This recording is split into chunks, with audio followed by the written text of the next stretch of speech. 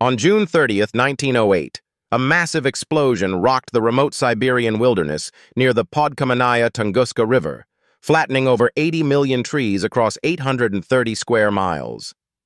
The Tunguska event released energy equivalent to 1,000 Hiroshima bombs, yet strangely left no crater and produced minimal physical evidence beyond the flattened forest.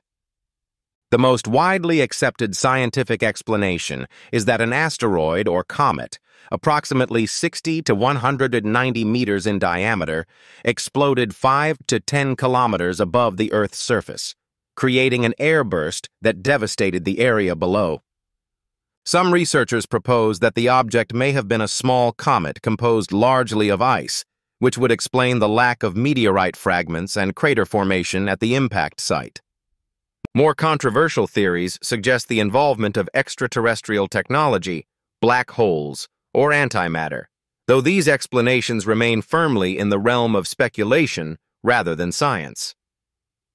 What makes the Tunguska event so enduring in our collective fascination is the perfect storm of its remote location the era's limited scientific capabilities, and the sheer scale of destruction that continues to inspire scientific inquiry and speculation over a century later.